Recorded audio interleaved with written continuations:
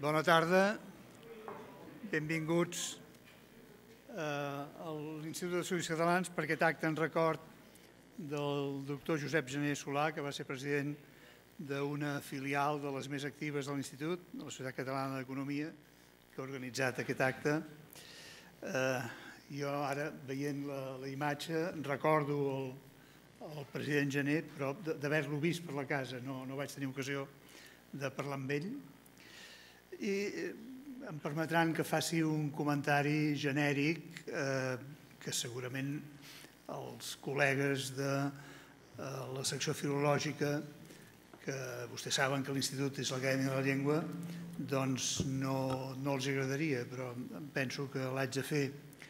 Eh, president ve de presidir i la impressió conté quan algú presideix alguna cosa, i això val per la societat d'economia, val per l'institut, val pel govern d'un país, eh, el mateix nom de presidir, eh, efectivament, doncs vol dir que estàs per sobre dels altres, però és, és com una figura eh, hieràtica, no? estàs presidint una reunió de gent que fa feina, sigui el Consell de Govern, sigui qui sigui. En canvi, director ve de dirigir, per tant, sembla que el director té una feina molt més clara que no pas el president, dirigeix. I, de fet, eh, molt sovint hi ha entitats que tenen un president i un director executiu, que és el que treballa. El president és la figura una mica, així podríem dir, de, de respecte.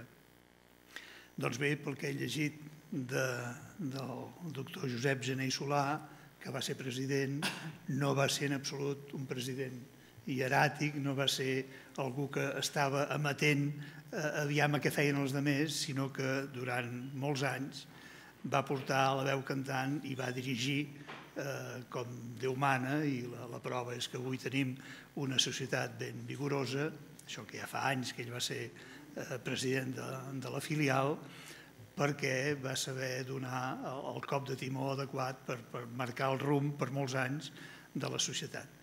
De manera que no pretenc pas els, els meus col·legues de la filològica, ja he dit abans, no m'ho permetrien canviar president per director, però eh, bé, doncs presidia i dirigia com, com tocava la societat. Eh, poca cosa més eh, puc dir perquè a la taula m'acompanyen per un cantó el president actual, que imagino que no només presideix, sinó que dirigeix la societat, la senyora Maria Coromines, que és presidenta de la secció, que també la dirigeix com toca, i el senyor Òscar Gené, que és el fill de l'homenatjat avui. Eh, per tant, els hi cediré amb ells la, la paraula, que segurament tindran coses més interessants que dir que no pas jo. Senyor Arruga, quan vulgui, endavant. Moltes gràcies, president de l'Institut d'Estudis Catalans. Eh, moltes gràcies a tots vostès, a vosaltres, per la vostra assistència, que demostra doncs, que teniu un bon sentiment respecte a aquesta persona que tots compartim que és el doctor Josep Gené Solà. Jo seré molt breu perquè els altres volen dir moltes més coses i segurament vivències. Però jo només voldria dir dues vivències que vaig tenir amb el professor Gené Solà. Ell va ser professor meu quan jo estudiava econòmiques, cap als anys 62, 63 i 64, en 1962, 63, 64, i d'ell vaig aprendre molt. I vaig aprendre una cosa molt important com a alumne, i és que ens feia pensar. No ens donava eh, instruccions o coneixement i ens el transmetia. No, no sols, almenys. Ens feia això i ens feia pensar. Ens feia analitzar el que deia i ens feia eh, reflexionar i meditar sobre tot això. I això és un aspecte que jo li agraeixo molt. Potser no ho vaig aprendre prou bé, però almenys és una cosa que li vaig agrair. I després, quan vaig acabar la carrera, vaig entrar amb ell, junt amb alguns amics que també estan aquí, amb el que va muntar el Seminari d'Economia del Turisme, un dels primers seminaris d'Economia del Turisme que es va muntar a les universitats espanyoles.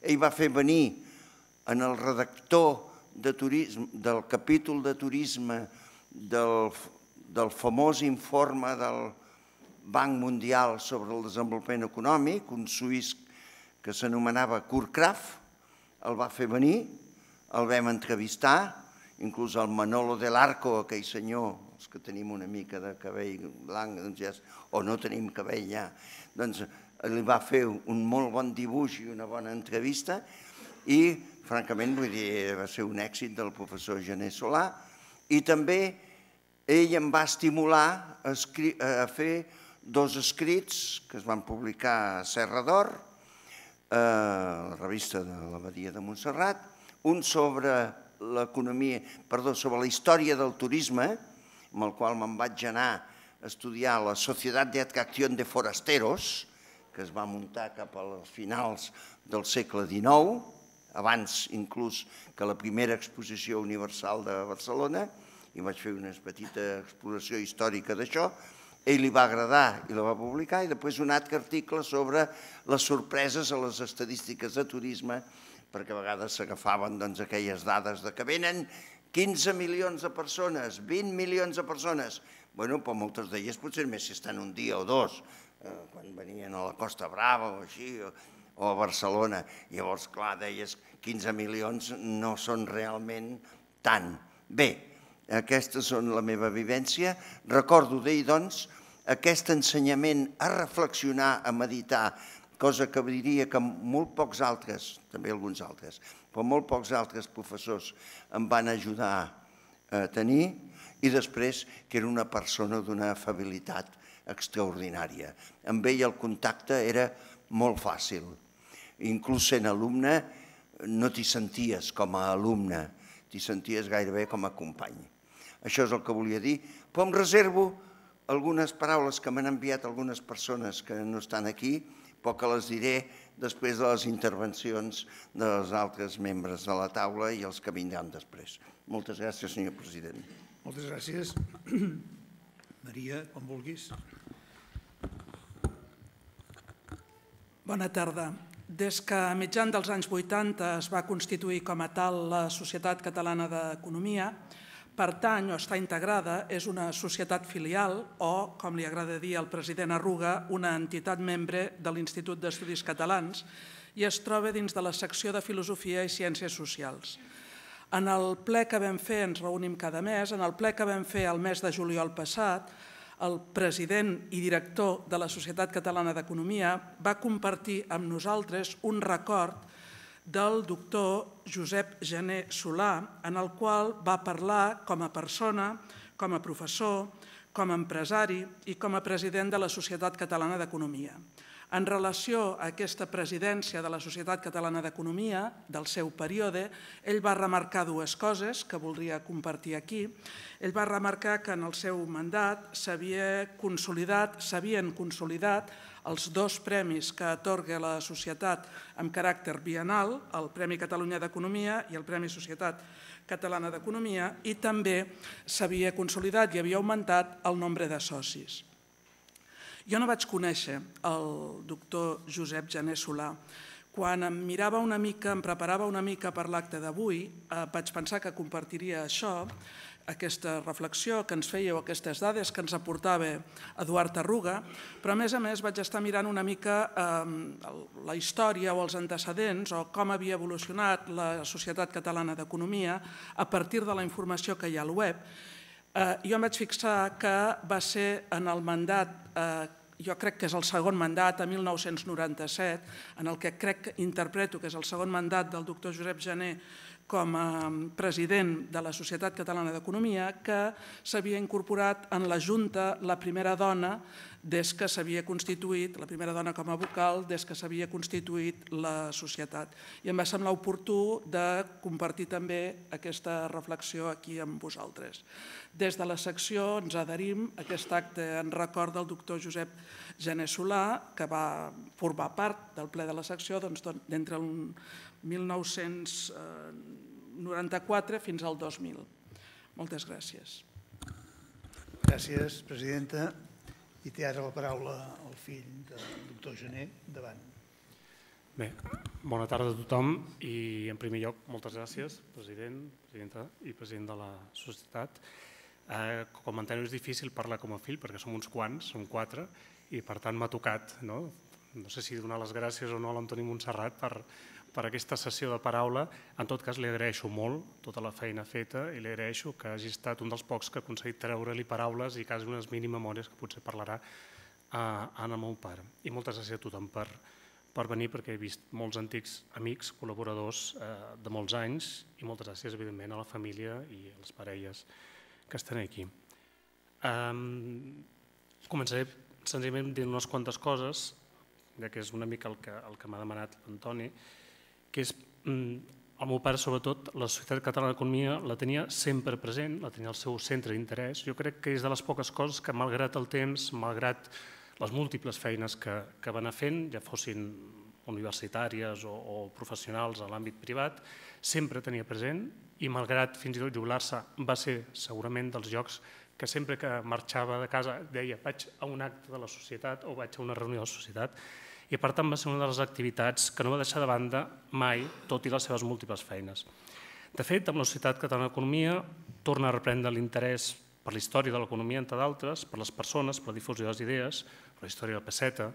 Eh, va tenir moltíssima il·lusió en fer aquest llibre de Laura Figuerola, que molts de vosaltres coneixeu, que em vaig ser, el vaig seguir perquè més em va tocar fer-ne la correcció eh, filològica, entre altres, tot i ser historiador, eh, va fer el projecte, conferències, etc i altres publicacions, com per exemple la del seu amic eh, Pitu Marull, que també es va publicar aquí eh, a l'Institut d'Estudis Catalans també en aquesta, en aquesta col·lecció. Una de les raons per les quals també l'Antoni suposo que m'ha dit de parlar és per la qüestió de que en els últims mesos, evidentment des de que, des de que va morir ara fa pràcticament un any, hem hagut de fer amb les meves germanes i el meu germà una miqueta de, de, de feina, de veure què fèiem tot l'arxiu i tot el material que tenia. La primera donació de la documentació és la que tenia com a president i membre de la Societat Catalana d'Economia i que hem fet i ja és aquí a l'arxiu de l'Institut d'Estudis Catalans. I vull agrair a la Laia Miret tota la seva feina i penso, jo que soc no membre però molt actiu en aquesta casa per altres raons, eh, penso que cal posar en valor l'arxiu que té l'Institut d'Estudis Catalans, perquè sovint quan algú ve aquí sempre pensa en la Biblioteca de Catalunya, però l'arxiu de l'Institut d'Estudis Catalans també és molt important i crec que cal posar en valor la feina de, de l'arxivera, de la Laia Miret, i per tant tot el que forma part d'ell com a president i dels anys que va estar aquí ja, ja està en aquesta casa. La resta de l'arxiu, eh, gràcies a persones que van entendre l'interès d'un fons molt divers en documents i en llibres, com tots sabeu, vivim una època on les biblioteques estan saturades, on les universitats difícilment agafen eh, materials, etc.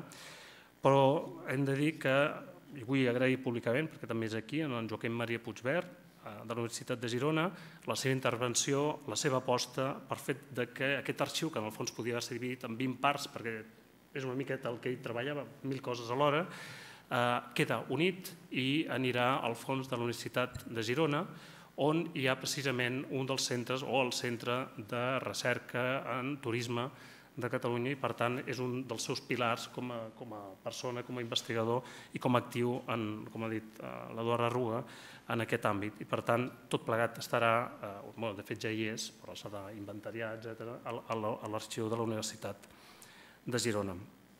Ara han passat uns mesos, gairebé un any des de la seva pèrdua, els mesos anteriors a la seva mort van ser especialment difícils, tant per l'entorn de la situació viscuda pel país, com pel sotrac emocional que suposava saber que en qualsevol moment ens podia deixar. Sobretot el mes d'octubre de 2018, que és quan ens va dir que no hi havia gaire a fer. Però vam poder compartir encara uns mesos, lluitant com sempre havia fet, davant de la seva darrera ascensió més complicada de la mà de la seva dona.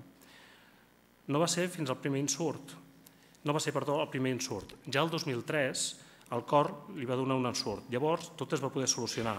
I jo, he d'explicar algunes vivències pròpies, vaig aprendre a parlar-hi i a preguntar-li per les coses fetes i viscudes, en part per distreure'l, perquè quan algú està a l'hospital també és bo poder-lo distreure, i en part per una profunda curiositat, perquè, com sabeu, quan un és adolescent potser no es preocupa per les coses que fan els pares, però quan va creixent i veu un món, etc., doncs és quan venen les, les preguntes. No? El vaig entrevistar durant hores sobre la muntanya, al Parc dels Estudis sobre Economia, vam parlar sobre història, soc historiador, se suposa, Volia entendre per què des de sempre la presència de tantes o de tants llibres als seus prestatges, a les lleixes de casa, de tants i tants clàssics, catalans i altres, de molts llibres de filosofia, entre altres, molts llibres estrangers i, evidentment, molta informació sobre la vall d'avui. Sobretot aquell indret que ens havia fet estimar com el que més. I és que Taüll és en gran mesura l'oportunitat per a ell per posar en pràctica alhora tot allò que volia, economia, muntanya, desenvolupament del país, turisme, comunicacions, etc. Ho va fer en un moment complicat, el 1977, agafant el relleu d'un projecte esbiaixat i allunyat de la realitat en aquell moment. I com tot el que feia, però especialment això, es va implicar tota la família. I és que lluny de formar part de molts consells d'administracions, com sol passar, diversos entre els quals, si les coses no van bé, doncs es canvia, en Josep Jané ens hi va dur a tots de cap. Jo mateix, des de ben petit i durant anys, pensava que aquell era el meu poble d'origen. Després un se n'adona que no. I fan veure que ets foraster, però vaja, un lluita. I els avis, els seus pares, que hi van passar mesos, igualadins i barcelonins d'adopció, es van assentar i s'hi van retrobar. En Taúi ens va transmetre estima per la muntanya i per la vall d'avui especialment, i que durant anys hem continuat tenint, tot i abandonar ell la direcció de l'estació el 2001. Jo mateix, amb altres amics del territori, vam crear el Centre d'Estudis Ribagorsans. Avui mateix tenim representació d'amics de la Ribagorça que han baixat expressament per això. Vam crear el 2003 la revista Ripacúrtia, on el 2004 li van publicar unes petites memòries sobre aquesta experiència seva en relació a la muntanya, a la comarca, resultat d'aquelles entrevistes fetes precisament a l'hospital i que és en aquesta revista i que és lliure en línia. Els interessos de Josep Gené com molts de vosaltres coneixeu pràcticament millor que, que jo, eh, són molt diversos, per no dir que és eclèctic, un veritable eclèctic del que sabia, del que ens va explicar, del que he pogut esbrinar i destriar el seu arxiu i comprendre, cosa que fins llavors pràcticament no en tenia res, perquè no en tenia moltes coses, el que havia anat fent, algunes fins i tot em semblaven bé i després he pogut entendre per què, i altres segueixo dient que no, hauria estat impossible diversificar entre la quantitat de temes i arxius temàtics d'allò que el va interessar i en què es va endinsar. Des de l'economia, el món de l'oci, el turisme, la muntanya, la història, la política, el desenvolupament i el benestar col·lectiu, una de les seves obsessions. De les idees a l'acció, aquesta seria segurament, a part de fer-nos pensar, una de les seves grans eh, idees. No? És dir, un pot tenir moltes idees, però sempre ha de passar a l'acció i portar-les a la pràctica. Sovint amb ingenuïtat, tot sigui dit, alguns dels seus companys ho diuen, nosaltres també. A vegades esperes que les coses eh, es facin perquè sí i esperen que tothom sigui molt bo, però les coses són sempre complicades. Però sense ingenuïtat no hi ha optimisme ni resultats. Possiblement va coincidir en una època, en un país i uns moments en què moltes coses eren per fer, en què tot era per fer. Un país per pensar i per construir. Entre els seus interessos personals, primerencs, abans de l'economia, la muntanya, els viatges, l'alpinisme, sobretot. L'esquí va ser també un dels impulsors a foment d'excursionista de Catalunya, els grups de muntanya, els grups especials de muntanya, president de la secció d'esquí del Centre Excursionista de Catalunya, etc etc. Per tant, va mantenir sempre aquesta relació.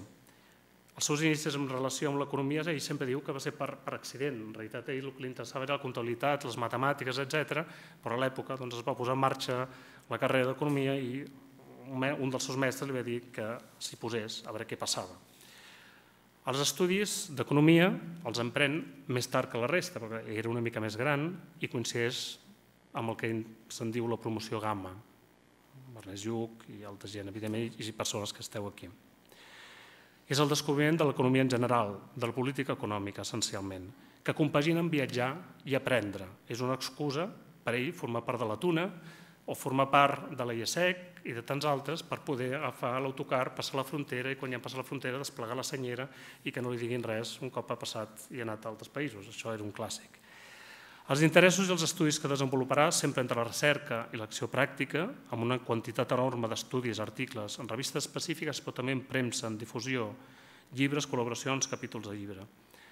Recordo, durant la meva adolescència, i en entrar a la universitat amb una mica més de seny, que li deia per què no es dedicava a escriure, perquè ell, que tenia moltes coses a explicar i encara a treballar, no escrivia. La resposta era sempre que ja havia escrit molt i que ara no li venia de gust o no li tocava. Jo no ho entenia. Amb els anys he anat entenent el que em deia i el seu interès per la part més activa del seu pensament. Altrament, no ha estat fins a inventariar el seu arxiu que he entès la magnitud dels escrits i les aportacions que havia fet i escrit, raó per la qual em deia que ja havia escrit prou, tot i que mai no és prou. Els interessos, i ho dic perquè el fet de fer l'arxiu em va permetre fer una classificació de temes, són enormes, món laboral, drets i condicions salarials, política de salaris, la introducció de la dona al món laboral, la importància de la seva activitat, el turisme, amb el seminari de turisme a la Universitat de Barcelona, que ens explicava el president, els transports, va treballar també transports metropolitans a Barcelona, visc, per casualitat, vivim a la nostra família al damunt d'on va treballar ell, casualitats de la vida, planificació urbana, comunicacions, va ser assessor durant molt temps per pensar xarxes d'autopistes i carreteres del país, sempre es va queixar de la decisió política que enterraria l'eix mediterrani, tot i les directives del Banc Mundial de l'any 62 que marcaven i insistia en que això s'havia de posar en pràctica i encara estem en això. La indústria catalana, desenvolupament regional, el món de la banca, treballar a Banca Massardà, Exbanc, Banpime, el món de l'edició, des dels serveis d'alguns d'aquests bancs, serveis d'estudi on va treballar, va publicar clàssics del pensament econòmic, clàssics del pensament del turisme, va incentivar la publicació d'estudis de joves economistes i sempre intentava impulsar tot plegat. El periodisme, la vessant de la difusió. A partir del turisme es va endinsar en el món de la premsa, fins i tot gaudint del carnet de periodista de turisme, però en realitat el que va desenvolupar millor va ser, novament, barrejar idees, pràctica, difusió d'economia, i això ho va fer senzillament des del suplement d'Economia de la Vanguardia i també des d'altres mitjans, el qual va coordinar va publicar desenes d'articles entre els anys 70 i 80. La seva idea era la democratització de l'economia. Calia que tothom sabés i conegués el vocabulari, els continguts relacionats amb l'economia i que no passessin coses com sovint passen, que vas al banc i t'expliquen una cosa, fan signar ràpid i ningú sap de què et parlen. La idea era que tothom pogués tenir un mínim de vocabulari i de coneixement sobre l'economia. Col·laborarà en revistes que ell, a més, explica que, que estima una gran estima, com per exemple Promos, Destino, Serrador, aportant una perspectiva econòmica a la societat. I parla de les experiències viscudes pròpies a Suècia, Estats Units, a Europa de l'Est, etc., des de models escolars fins a models socials. Des del BPME, Banc de la Petita Mitjana Empresa, fet a partir dels petits i dels mitjans, tal com deia ell, no es pot competir amb els grans, s'ha de construir i avançar a partir dels molts i iguals. També va promoure a banda del banc, conferències, sessions monogràfiques per clients i per altres, va impulsar creació fins i tot de còmics que explicaven l'economia de manera senzilla, uns còmics, uns cartells que me'n recordo a l'època els posaven a tot arreu i que explicaven l'economia des de l'època de la prehistòria fins a l'actualitat per intentar que tothom tingués a l'abast l'economia actual. I, evidentment, el que més el va tirar, que és la política econòmica, que volia dir política. Acceptar o no, col·laborar com a assessor en diverses ocasions davant dels processos que es vivien des de la mort del dictador. En alguna ocasió rep fins i tot propostes per fer un pas més, un pas més, un pas més però té clar que no és el camí que vol, malgrat que pot col·laborar amb molts d'aquests comitès d'assessor. La docència, si alguna cosa és, si alguna cosa podem dir, jo si alguna cosa hagués de dir que realment té vocació, és fer de professor. Des de casa fins a la universitat, des de qualsevol cosa que posa en pràctica en l'acció, sempre estava donant classes involuntàriament a tothom i explicant coses extremadament complicades, parlant de patates, de peres i de pomes. Jo no sé com s'ho feia, però acabàvem tots entenent el que deia. Uh, un dels aquests exemples de l'estima uh, que va rebre com a professor és precisament d'aquesta marxa breu a Màlaga com a catedràtic. Ell sempre em deia rient que quan va tornar van fer una petita manifestació als estudiants a Màlaga perquè, que perquè marxava. Jo no m'ho creia perquè pensava això és una mica exagerat. Doncs sí, els arxius veig no només els diaris, no només les queixes, sinó també les cartes d'estudiants que un cop ja hi arriba a Barcelona, i eren uns quants, li escriuen demanant que, si plau, si té algun petit lloc de feina a Barcelona, a la Universitat de Barcelona, que els avisin que voldrien venir amb ell, perquè evidentment prefereixen treballar amb ell que no pas eh, seguir a Màlaga on no hi havia la carrera de política econòmica tal com ell volia. I evidentment amb tot això volia dir família amunt, família avall. Jo encara no havia nascut. L'activitat a la universitat fou intensa des que inicià la carrera, el 1956. La coincidència una promoció gamma amb tota una sèrie de persones i especialment amb en Fabià Estapé. El marcaran durant anys, tot i tenir, evidentment, personalitats molt diferents. Intenta crear una nova manera de pensar i d'entendre la política econòmica a partir d'articles, cursos que elaborarà i desenvoluparà durant anys. També tindrà un nombre important de col·laboradors i ajudants, com sabeu millor que jo. I per acabar, només un parell de coses. Altres interessos, evidentment, al marge del que sembla que sigui la vida professional i que, en fons, és la barreja entre el professional i el personal. Les seves obsessions de fer coses, Catalunya, Europa, a Europa, molta Europa, què farem amb la Unió Europea? Europa era una de les seves grans obsessions com a punt de eh, desenvolupament, de partida i de molt més que arribada i, i és una de les coses que els vam quedar clavada saber cap on anirà aquesta Europa que ens han deixat. Aprendre, la curiositat, l'ull obert, no cal refer sempre tot de zero, sinó adaptar i importar, adaptar, exemples dels models suïssos, suecs, americans, de models destinats al turisme de muntanya, que no cal tot inventar, però sí saber adaptar tal com cal. La ONU i les multinacionals va ser present durant un temps eh, allà, de la mà precisament d'una persona que ell admirava moltíssim, que és en José Luis San Pedro, que és qui el va, el va portar i el va recomanar perquè estigués, i evidentment la Societat Catalana d'Economia. Per acabar, um, dir que es van fer ja fa uns anys, ho dic perquè ho han posat al targetó, uns reconeixements eh, quan era en vida i per tant ho va poder viure. El primer a Màlaga, del seu gran deixeble amic, en Gumercindo Ruiz, eh, hem deixat uns quants llibres fora que es poden agafar, publicat, no me'n recordo si l'any 98 o 99, amb el pròleg de Fabià Estapé, i el 2004 a Madrid i després també a Barcelona eh, es van prendre, demà també de Fabià Estapé i altres catedàtics, aquest, eh, un homenatge que va acabar donant peu a aquests dos llibres, que quan ho portava en marxa un catedràtic de comunicació a Madrid em va trucar i em va dir si el podia ajudar perquè no se'n sortia de la quantitat de textos que estava rebent. I efectivament jo li vaig dir si no havia de posar un, un tall i em va dir que ara no puc dir a la gent que no i per tant no només es van rebre tots aquests textos que parlen de tots els temes que ell havia treballat, a part d'aportacions personals, alguns de vosaltres ja ho coneixeu perquè esteu, sinó que va tenir més de 400 adherits eh, en l'homenatge, persones de tot arreu, i jo crec que és el que més cal, cal destacar de tots els colors, perquè a vegades amb les persones eh, els colors és el de menys, i també, evidentment, de tots els indrets, des de la universitat fins al món de la comunicació, des de persones que, van conèixer, que va conèixer la Vall d'avui fins a antics companys d'estudi. Deia molt de la seva empremta. Va ser un treball titànic, però va valer molt eh, la pena.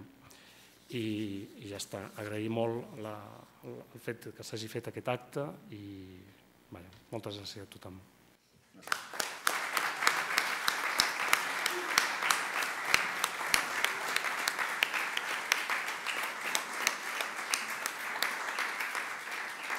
Perdó. Sí, que volia posar una cosa, perquè l'Antoni Montserrat em va, em va demanar si tenia imatges o coses i vaig pensar, en lloc d'anar passant imatges, he muntat un petit vídeo de dos minuts on podem veure una mica tot això, potser dura molt poc.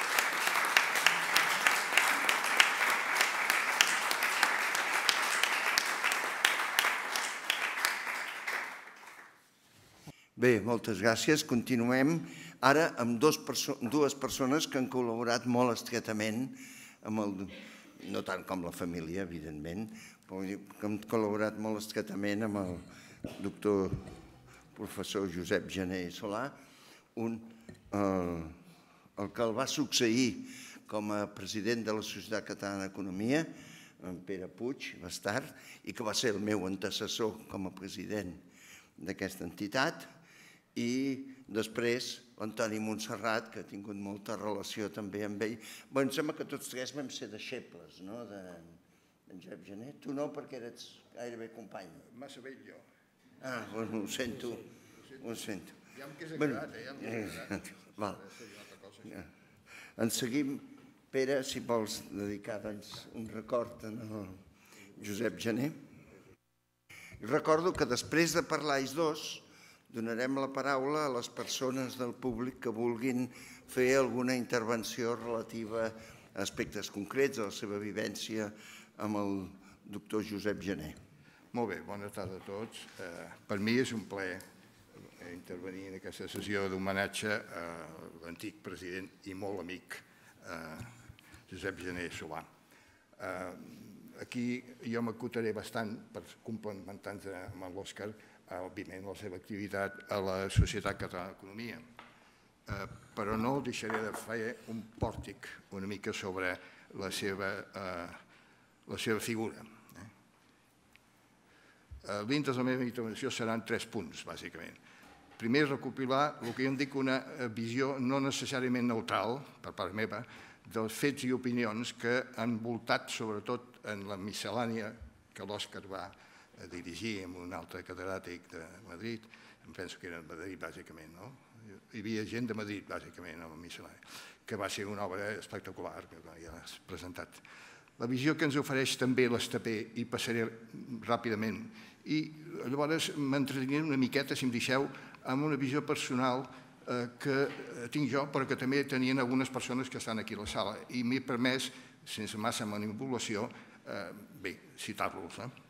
La tasca feta, i això és la part central del que he de fer, la tasca feta durant el mandat del president, del tercer president de la Societat Catalana d'Economia serà el nucli de la meva intervenció, premis, activitats acadèmiques, nous socis, etc.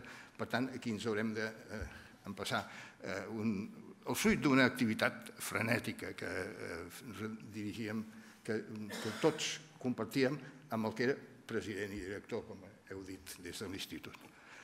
I bé, una breu anotació final sobre uns treballs que a mi sempre m'han cridat l'atenció i que molt breument esmentaré perquè crec que la tornada a llegir d'alguns dels seus treballs, no tots, cinc concretament, tots seria impossible, estaríem demà al matí aquí, eh, pues em donen a mi eh, una idea molt clara de la vivència d'un eh, economista eh, absolutament rellevant. Eh? I bé, això ja vindrà al final. Bé, en la miscel·lània jo voldria destacar alguns eh, punts molt, molt breus. Jordi Pasqual ens diu de la intel·ligència, la creativitat, la capacitat de crear nous projectes. García Duran diu una cosa que a mi m'impressiona i que comparteixo 100%, que ens va fer sentir passió per l'economia, però no només en les primeres classes que donés de política econòmica, sinó després rellegint-lo. Un veu la passió per l'economia des de la visió de la política econòmica. Jo sempre he estat a l'altre cantó, lluny de l'estapé, per cert, eh, en el món de la teoria econòmica, però per mi la feina de gent com el Gené han estat enormement, i d'altres, eh, han estat molt rellevants, més enllà dels models teòrics. Guillem López Casanovas ens diu que és un dels primers professors que va tenir, un dels millors professors que va tenir. Antoni Cantonya diu una cosa molt interessant, professor de l'IES, jo sóc de SADE, som gent de diferents cantons, però em diu alguna que, que em colpeix molt, l'amplitud dels seus punts de vista, la gran dedicació als alumnes, això ha sortit abans. El Frederic Ribas ens parla del discret, imaginació, extraordinària capacitat de treball, això es repeteix contínuament, no cal que ho digui cada vegada. El Frederic Borràs ens parla de la capacitat d'avançar sense defallir, innovador, etc. La segona miscel·lània, que encara trec, és Jordi Rivera, ens parla del nou clima de competència bancària en què ell va viure, que, on va ser sortir les seves capacitats, que eren moltes, en aquest àmbit no fàcil. A l'Armadàs, penso que deu estar per aquí, ens parla d'intel·ligència, creativitat i capacitat de crear nous projectes. El Cavaller, que va estar també amb ell a Vampime, eh, l'àrea de tresoreria, capacitat d'anar endavant sense defallir. Innovador, però realista, sabia quan les coses ja no es poden modificar. El professor Ros Ombrevella, que està aquí, és culpable d'haver dit el professor Gené pot estar satisfet dels cims que ha escalat. Formació d'una escola pròpia, de política econòmica s'entén, aportacions seminals, fins i tot un alt nivell polític, eh, un alt nivell polític en temps de transició política. Vol dir que, en definitiva, era consultat de les altres instàncies polítiques de la transició, tot i que va resistir eh, involucrar-se, com s'ha dit abans. Allà on no va arribar és que no el van deixar. Ja us ho acaba d'aclarir, això. La miscel·lània segueix encara amb gent que ja venen de Madrid, de Màlaga, d'Alcalà de, de, d'Henares, etc. Eh, saltaré una mica. Aquí veig que ens parlen del de gener, el professor Gené com a un gran mestre. Els seus alumnes aprenen molt al seu costat, més enllà de les classes, sobre temes, sobre com valorar l'equilibri, la serenitat que ell transmetia tot i ser tan actiu. El Rafael Martí Cornilla diu una cosa que és molt específica. Hem estat amb ell, i no tan sols ell i jo, no tan sols testimonis, sinó partícips del trànsit d'un model tancat de la banca cap a un model molt obert, competitiu. Eh, ell va assumir el risc de crear Bampime en uns moments que no eren fàcils. Va posar amb això, com s'ha dit abans, eh, de manifest la seva capacitat.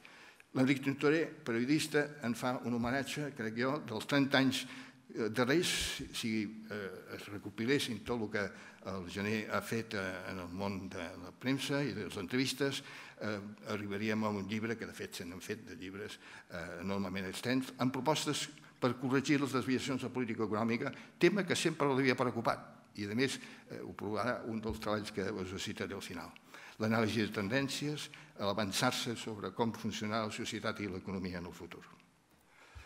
Opinions del Fabià està bé, no m'hi entretindré massa, però en les memòries sí que parla del gener, parla d'altres alumnes seus, i diu el primer deixeble que va aconseguir la càtedra de política econòmica, eh, tot i la sorpresa del gener, i suposo que també del mateix està de que el gener no es considerava preparat per la política econòmica. Ell deia, ho has dit abans, que la seva preferència era l'econometria, l'estadística, la matemàtics, per descomptat, la comptabilitat, havia tingut aquell magnífic professor i mestre seu, ja de molt jove, Manuel Vela, al qual se li va tributar també, eh, com veurem després, un homenatge en aquesta, en aquesta casa per la Societat Catalana d'Economia. A Màlaga va crear escola. Els alumnes de Màlaga, reconeix el CP, ho diu ell, eh, no el volien deixar escapar, encara el recorden. De fet, li van muntar una manifestació o sigui, això va anar molt lluny. Hi havia realment una petició de que tornés, perquè, clar, el culpable que deixés Màlaga era l'Estabé, que va desusvar la, classe, la càtedra perquè li va interessar el moment en què ella, òbviament, era degà i després va ser rector i tot això, doncs necessitava una persona, precisament com el gener, capaç de tirar endavant allò i molt més. Eh, diu de l'Esgener, jo crec que aquí es passa un pèl, com feia sempre l'Estapé, eh, l'Estapé és lleal, però és fred, disciplinat, amb un sentit de l'ordre teutònic. Potser aquest motiu és el que el va posar a el va decidir a prescindir de la càtedra i dedicar-se plenament al banc que ja havia creat en aquella època, que era Banc Piment. No es pot prendre gens de broma. President de la Societat Catalana d'Economia, bueno, ell s'equivoca, en diu president de la secció d'Economia, ja no ho era. Ja no ho era. Bé, aquí estic jo. Eh, permeteu que digui, amb, el, amb el gener, clar. érem joves els dos, eh? ho hem sigut. Exigència, esperit innovador, gran capacitat de treball, compatible sempre amb la lleialtat, la serenor i el sentit de l'amistat. I això ho crec molt fermament. Si algú he de dir important aquí avui és aquesta combinació. Al llarg de la seva vida emprendrà un nombre important de projectes innovadors en entorns sempre complicats o freqüentment complicats i sovint difícils, però ho farà i ho farà prou bé. Ho farà amb tenacitat i optimisme, tot mostrant les seves reconegudes dots de rigor, de disciplina, de capacitat de treball, en equips i organitzacions que sovint són complexes, perquè ell sap dirigir molt bé i motivar. Sabrà fer-ho mostrant, a més, en ambients en què sovint regna l'ambició, això passa fins i tot a la universitat, ell genera lleialtat, reconeixement a les persones i als col·laboradors seus, coses que sempre caldrà reconèixer-li. I no es movien en tons que fossin pacífics, tranquils o serens, freqüentment. Jo em vaig tenir proves sobrades. El vaig conèixer eh, i seguir a la universitat a, a distància, perquè ell anava per davant, al món dels serveis d'estudis, aquí sí, varen coincidir, a la gestora de Bampime, òbviament, que hi vaig estar un temps, tot i que jo aprenia coses allà, no és que fos un gran administrador. Eh? I, I em va fer molta confiança, com us podeu imaginar. I a la Junta Directiva de la Societat Catalana d'Economia, que hi vàrem estar dos períodes, perquè ell va estar eh, amb en Munts, com jo mateix, de vocals, ell també va fer de secretari de la mateixa Junta, i al final va ser president com li tocava, i jo, evidentment, vaig estar amb ell. El meu agraïment a un exemplar d'amic. Presentació, que ho faré ràpida, perquè hi ha molta fotografia, de la tasca feta durant el mandat del tercer president d'aquesta societat. Aquí teniu els dos presidents inicials. Un ho era de, les CEGES, de la Societat d'Estudis Jurídics, Econòmics i Socials, eh? de 1977 al 85. Després va venir Antoni Serra Moneda, que va estar molt amb nosaltres, perquè no va ser un president que se'n va anar, sinó que va seguir. El professor Joaquim Munt, el Bugec, altre cop un home recaptat pel mateix gener, que també va col·laborar amb coses amb el gener. Per tant, eren tres presidents molt eh, diguem-ne, molt, molt propers, i era mèrit del gener, com sempre. Aquí està el resum, està tot. Està tot, tot. M'ha portat feina, eh, fer això. Gràcies. Poca broma, poca broma, eh? Bé, teniu els premis que després m'hi entretindré un moment. Són sis premis per sis cursos complets en què ell va estar actiu, nosaltres com a president, abans ho havia estat com a secretari vocal. Plens anuals de la societat se'n van fer amb el Vicente Sales sobre els Premis Nobel, l'Andreu Mascollell, la privatització d'empreses, el Carles Gasòliva, la lògica de la Unió eh, Econòmica Monetària, el, mm, el Borrell sobre els Nobels també, el Màxim Borrell, vull dir. La commemoració del 90 aniversari de l'Institut, aquí van intervenir sobretot el Joan Pasqual, que va fer 90 anys d'estudis d'economia a Catalunya, i van ser també, fora ja d'aquesta eh, commemoració de l'Institut, eh, socis d'honor nomenats en aquest període doncs, ni més ni menys que el propi Fabià Estapé, el seu mestre a la facultat, a catedràtic de la Universitat, amb el treball conegut i molt erudit de Lip Khaldun, precursor de ciències econòmiques. Eh, a Vela, el seu antic mestre i professor de, des de molt jovenet, el que ell sempre havia admirat i, i el va seguir després inclús de ser catedràtic eh, a València, eh, va fer també un treball que després considerem sobre, sobre la gestió de les empreses, la comptabilitat, l'auditoria i la gestió de les empreses, i Jordi Nadal va fer una intervenció més tard, perquè va tardar una mica més. De fet, el Jordi Nadal el anem gestionar junts, el gener i jo, perquè l'havíem d'anar a buscar a lluny, perquè estava molt enfeinat amb les recerques històriques, i ens va atendre, ens va atendre. De fet, va fer una conferència, tot i que aquesta jo no l'he vista publicada. Els altres sí. Inauguració dels cursos, la Borsa de Barcelona amb el Joan Hortelà, el Bessen les Galledes del CUN, que va fer el Silvestre de Califòrnia, l'auditoria eh, Element de Gestió Empresarial, que és el precisament el treball que va presentar el Manuel Vela Pastol, fer-lo soci d'honor, la lluança a Joan Sardà, que havia fet, que va fer en una d'aquestes èpoques, el Fabià Estapé, Catalunya, l'aldea global de l'Àngel Pes, a la Universitat de Barcelona, política monetària del BCE, l'Eugeni Domingo, totes, per tant, figures molt rellevants, Uh, the European Union and the World Trade Organization Millennium Round, ho va fer, venir a fer de la Unió Europea el John Clark, Eh, l'homenatge a Josep Marull s'ha mencionat abans, una cosa que va tenir una força notable perquè a més van venir persones d'una gran rellevància. Va venir el Fabià Estapé, òbviament, el gener també va intervenir com a catedràtic i president, el Serra de Moneda, antic president i catedràtic, l'Enric Massó Vázquez, que era expresident de Tabassa i exalcalde, i el Joan Clos, alcalde de Barcelona en aquells moments. Les conferències dels Premis Nobel ja no les explicaré totes, però bueno, van intervenir una sèrie de gent fent un Màxim Borrell, el Salvador Sen va fer una, una exposició molt bonica al, al Salvador Barberà i altres conferències i debats importants. Bé, ara passo a la part més fotogràfica.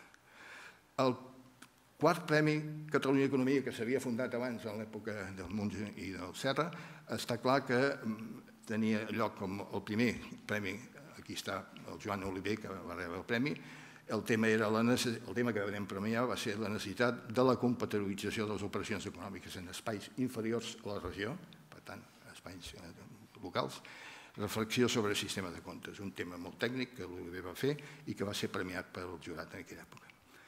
El cinquè Premi Catalunya d'Economia, seguim amb els Premis Catalunya d'Economia, aquest del 95, Transformacions Agrícoles i Canvi Social a la Catalunya Rural. Aquest va ser un premi que anem a otorgar al jurat d'aquella època i que es va presentar solemnament a l'Ajuntament de Vic, que era on era eh, professor eh, el, seu receptor, Santi Ponce i Vivet, professor de la Universitat de Vic.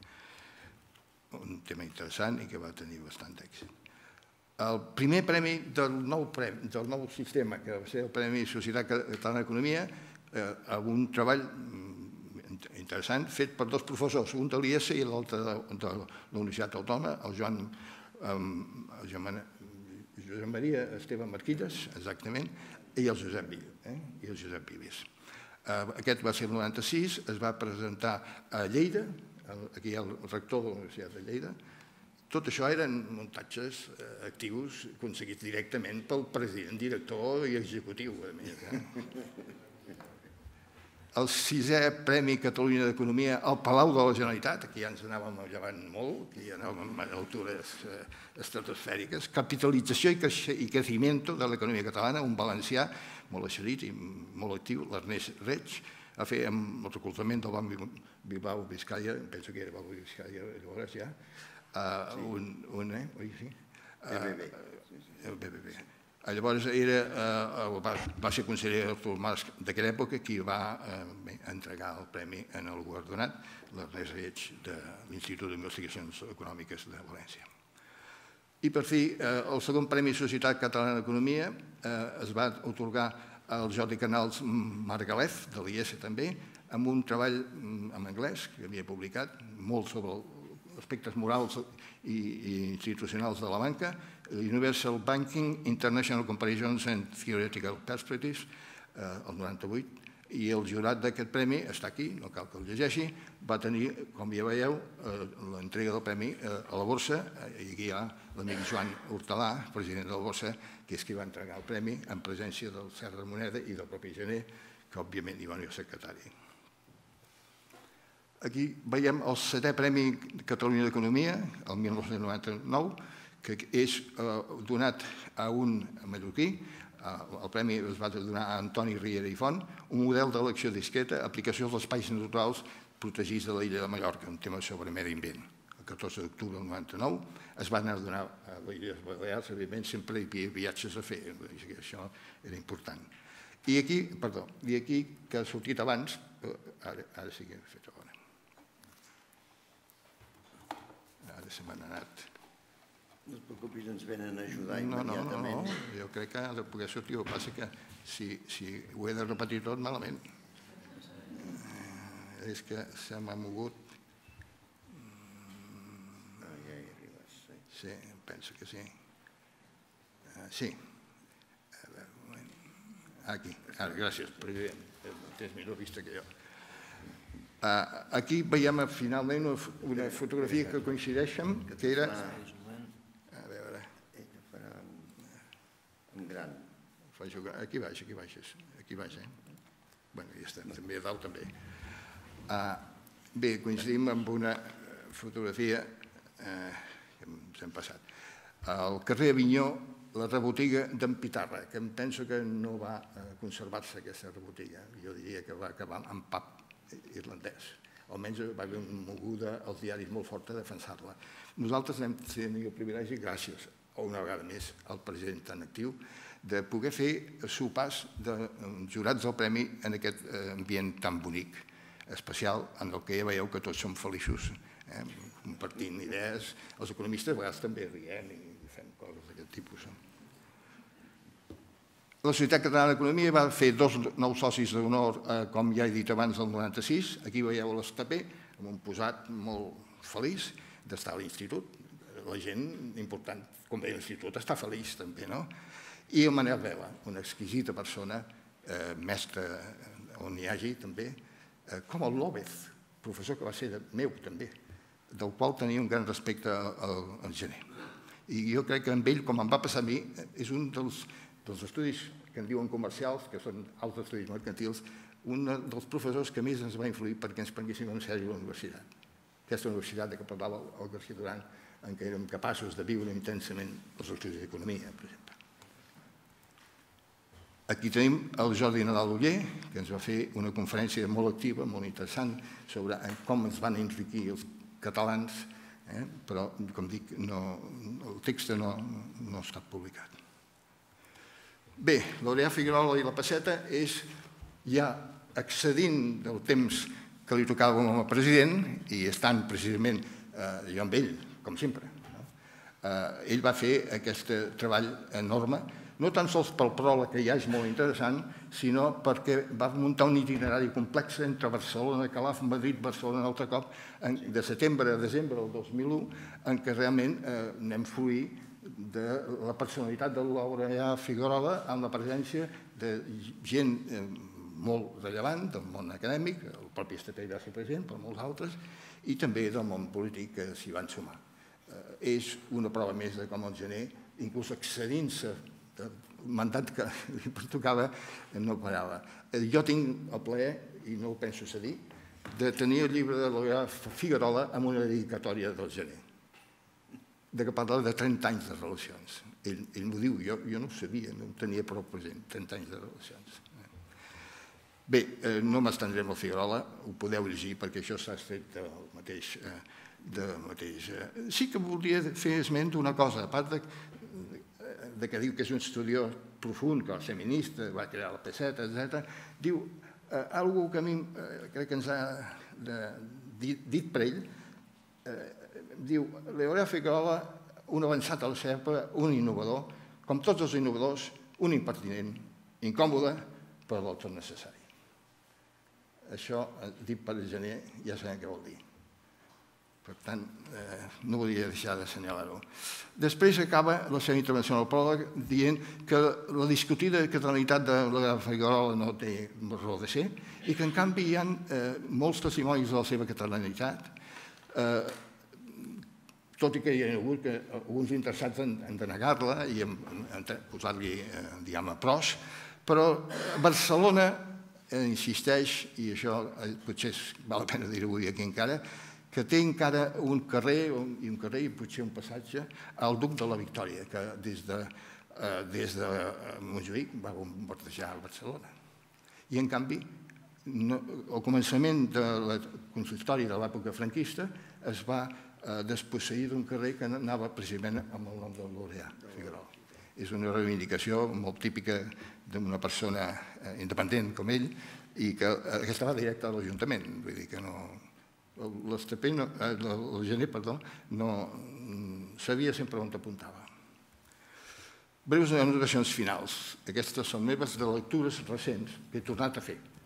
Jo crec que, eh, no sé si està el Francesc Roc aquí, però un treball que jo trobo ara encara molt rellevant és els dos factors que ell va anunciar que explicaven la prosperitat de Suècia, la prosperitat sueca. El mercat de treball, tema que ell va estudiar i a fons, eh, li preocupava molt, i el cooperativisme, com a dos actius importants perquè expliquen el fet de que eh, Suècia fos, sobretot en aquella època, emmirallant entre nosaltres allà, com un mm, exemple d'èxit en, en el creixement econòmic. Ell diu l'estabilitat i el bon funcionament del mercat de treball afavoreixen acords empresarials en aquella economia entre, eh, entre empresaris i treballadors, estimulats per les bones expectatives de millora del nivell de vida. Això té sentit. Eh? Eh, clar que es fa en un entorn d'una economia molt estable políticament i també eh, una economia forta que anticipava guanys. Això fa que eh, els, es defugin per uns i els altres, treballadors que estan molt organitzats a Suècia ja llavors, i eh, empresaris, la búsqueda de conflicte. Té sentit, això. Per altra banda, el cooperativisme és una peça molt específica de Suècia en aquella època, sobretot de la que ell diu n'haurien d'aprendre els nostres cooperativistes, perquè és en allà un element de lluita contra el monopoli, de difusió dels coneixements, de l'educació, de treballadors i empresaris, segurament, i de coneixements en matèria tècnica i econòmica. La millora dels sistemes de comercialització també va lligada, almenys en el cas de Suècia, segons ells deia. Eh, això va aparèixer en dos articles de Serrador, precisament, eh? i es, estem parlant dels començaments, del 62, 63. El tamany de l'empresa referit a Catalunya, això, això va fer en castellà el servei de, de Banco Quijo, on jo havia treballat, per cert, també, doncs bé, eh, aquí van ser vuit investigadors. Jo us cito no pas per explicar-ho en detall, simplement recordant els que ho hagin mirat una mica, que el Ramon Trias Fargas va dir que aquest treball difícil de fer en aquell moment, bibliogràfic i empíric, estava mancat de prou bones estadístiques, però reflectia una preocupació típica d'aquella època, que era la constatació que a Catalunya, i potser també a Espanya, el minifuntisme era excessiu, però sobretot ho era a Catalunya i que calia buscar una dimensió òptima que se suposaria més gran. Això després el Banc Mundial ho recull en excés, eh, l'aposta per les empreses grans. Doncs bé, quan saltem el cinquè treball que aquí us enumero, la política espanyola i la petita i mitjana empresa, aquest va fer també en castellà, el Boletín d'Estudis Econòmics, el gener hi ha donat la volta. A ell el que li preocupa és que precisament les petites i mitjanes empreses que demostren ser molt dinàmiques no tinguin unes polítiques econòmiques adequades, sinó que entorpeixen la seva evolució una política econòmica pensada massa per grans empreses. Mireu quin canvi i quina capacitat de sortir d'una cosa eh, i saltar a l'altra, que per ell era segurament la més rellevant.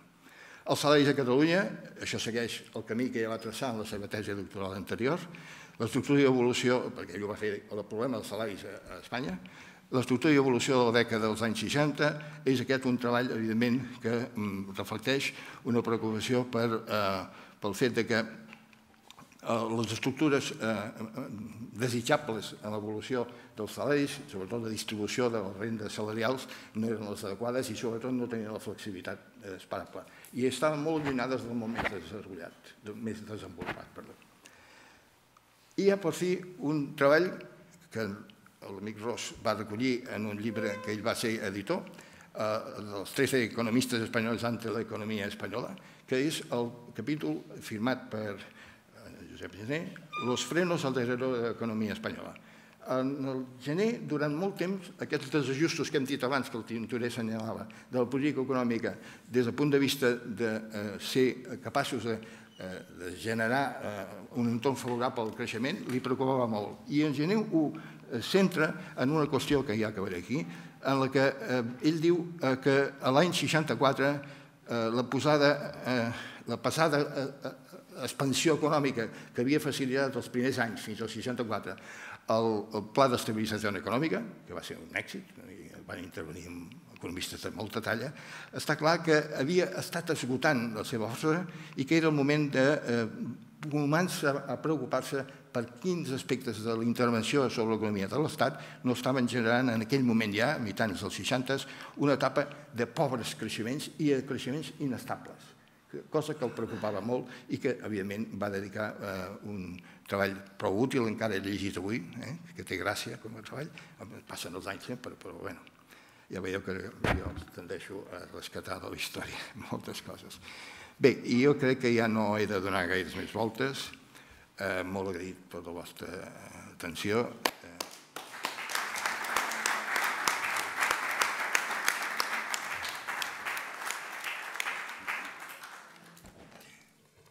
Pere, moltíssimes gràcies. Realment has fet una bona ponència per resultat d'un gran treball de recerca sobre... S'han ajudat, però la recerca l'has fet tu. Eh? Donem la paraula a l'Antoni Montserrat, que també el val conèixer molt... I és de les poques persones, com ha dit l'Òscar Gené, que va aconseguir que escrivís alguna cosa i ara ell ens en farà un resum. Gràcies, Antoni. No, no, no, sí, sí. La meva intervenció serà breu. Els que han parlat i els que parlaran ara saben molt més sobre la figura de Josep Gené del que em pugui saber jo mateix. Parlo, però, pel privilegi que vaig tenir de, recollir, transcriure i comentar amb el propi Gené la seva automicrobiografia, que en diu, aquestes breus memòries d'una llarga vida activa, que serà l'eix de la publicació que traurem amb els resultats de, de la conferència d'avui, eh, amb totes les intervencions que s'han produït i que eh, vaig recollir doncs, durant els últims mesos de la seva vida. Inclús em, em donava instruccions sobre el text des de, des de casa d'ell quan estava ja molt malalt. Eh?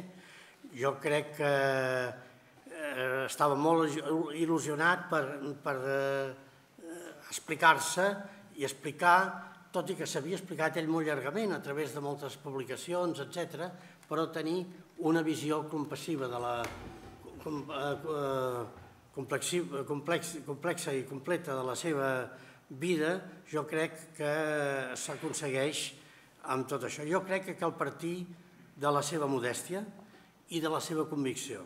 Jo crec que són dos trets característics d'en Gené. La seva convicció plena que els seus eh, enfocaments eren útils i que partien d'una reflexió sobre la realitat no solament econòmica, sinó social i política.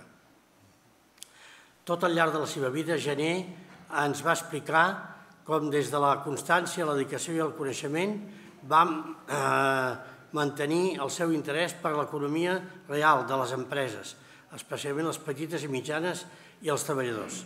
I sobre eh, això havia construït eh, la seva reflexió sobre l'acció de l'Estat a la conciliació d'interessos i a l'impuls d'iniciatives. O sigui, el doble, el doble vessant de la política econòmica com a eh, mm, activitat eh, eh, d'infraestructures, d'iniciatives, etc. i l'activitat la, política de l'Estat com a conciliació d'interessos entre les parts. El mateix Gere Solà, que participa en el reportatge, el reflotatge de la cooperativa del Vidre, cooperativa eh, simbòlica del moviment obrer del primer terç del segle, és també el que fa la seva, la seva tesi doctoral sobre els salaris a Espanya. I allí assenta uns, no sé, són 10 principis que expliquen molt exactament sobre què, què significa tenir una autèntica política de salaris. Evidentment, això, en el moment que ell ho explica, representa, diguem tot un programa polític, un programa de transformació, un programa de reformes polítiques. Eh, ell també recull l'experiència eh, escandinava eh, que per donar via i sentit als pactes de la Moncloa. Ell, eh, amb la seva experiència de conciliació, eh, em sembla que és a Finlàndia específicament, però també en el cas de Suècia, eh, diguem contribueix a definir el que pot ser els pactes de la Moncloa, que hi participa activament. És el mateix gener, jovial, excursionista i esquiador, que promou eh, dues estacions d'esquí de gran volada, que reflexiona sobre el turisme el que lliga les necessitats d'infraestructures que surten de l'informe de la Banc Mundial, no solament amb el turisme, sinó amb l'articulació del territori i a les línies que ha de seguir la seva estimada Barcelona, que també va dedicar molts esforços a l'anàlisi de les condicions de les, del, del transport i les comunicacions a Barcelona. És el gener que s'instal·la per un temps als Estats Units, però no cau en el parany de l'abstracció, eh, i aprèn moltes, eh, moltíssimes eh, tècniques i novetats que en aquell moment es dedica a l'anàlisi de, la gran, de les grans empreses multinacionals, però el veiem, com hem vist aquí, amb la mateixa manifestació amb Martin Luther King. És a dir, que és una persona que s'interessava per la realitat eh, molt activament. Això li permet eh, tenir coneixements que després aplicarà en, la seva, les seves activitats en el, món, en el món financer, sempre intentant portar endavant acció al voltant de la petita mitjana empresa. Mateix, és el mateix que ens regala un, un homenatge completíssim de l'Aureà Figuerola, Olotí també, que arriba a, a responsabilitats a Madrid però així com l'Aural Figuerola arriba a responsabilitats polítiques màximes i, i culturals, perquè és el que dona el, el que dona el giro a la Real Acadèmia de Ciències Morals i Polítiques i la transforma radicalment, sinó també eh, adquireix diguem, responsabilitats directament polítiques. Jané, en el moment en què ell està present en, aquesta, en aquest terreny, no està veu que no està en el moment d'agafar responsabilitats polítiques executives i, en canvi, és molt actiu com a consultor. Participa no solament amb els pactes de la Moncloa, sinó amb tots els temes vinculats a reformes fiscals, a distints assessoraments, ja amb el cas del govern Suárez, etc. I abans, amb l'equip del Fuentes Quintana, etc. Sap, però, que el, no pot acceptar responsabilitats executives. És també el mateix gener eh, emprenedor que posa en marxa la facultat de Màlaga eh, desdoblament de la Universitat de Granada i, per tant, l'embrió del que serà la pròpia, la pròpia Universitat de Granada. Ja s'ha citat aquí que hi té una activitat molt, molt activa, implicant-se amb la gent. Hi ha una anècdota que, lligada a la seva presència a Màlaga, que és la recuperació de les condicions de, de vida i de i comunicacions del Gerald Brennan, és a dir, eh, descobreix que el Gerald Brennan està viu i que viu molt malament i ajuda a que estigui més ben comunicat i amb més, amb més bones condicions de vida. Bueno, eh, tant a Màlaga, que ja, que ja ho hem parlat, com a la Facultat de Barcelona, on és cridat per, per l'Estapé, el seu mestre, de, de qui ell va... Eh, el que el va llançar a l'àrea de la política econòmica, venint ell com venia de comptabilitat, les matemàtiques, i entra a l'ensenyament regular, regular de, la, de la política econòmica d'un dia per l'altre. L'Estapé li diu, demà al matí vas a classe, vas a classe i dones la, dones la classe tu. Eh? És a dir, i, bueno, jo crec que això explica doncs, la capacitat d'acceptar els reptes i, i treballar amb seny, amb dedicació i amb esforç i amb molt sentit, amb molt sentit profund de l'economia. Eh, molts alumnes, companys i amics s'han volgut afegir a aquest acte de record com també ho feren el monumental, el monumental, monumental Festschrift, aquesta economia efectiva, que, ell, que el tenim aquí. Eh, recordo que el terme economia efectiva és un terme grat a, Josep Gené Solà, indica la seva voluntat que la ciència sigui una ciència útil. Amb això coincideix amb altres deixebles de l'Estapé, com el doctor Rosa aquí present, que precisament té un treball amb aquest mateix títol, l'economia ciència útil, intentant esbrinar de quina manera pot ser útil, o eh, també l'Alfredo Pastor té un altre llibre que esbrina aquesta necessitat de que l'economia sigui mm, una cosa útil per a la societat. Jo no vull dir res més, vull cedir la paraula a totes les persones que han dit que volien parlar. Aquí aquestes paraules seran recollides i eh, amb els textos que s'han llegit prèviament eh, les incorporarem en el volum de, en el quadern de la Societat Catalana d'Economia que volem dedicar al que fou el nostre president i mm, amic. Per mi, res més.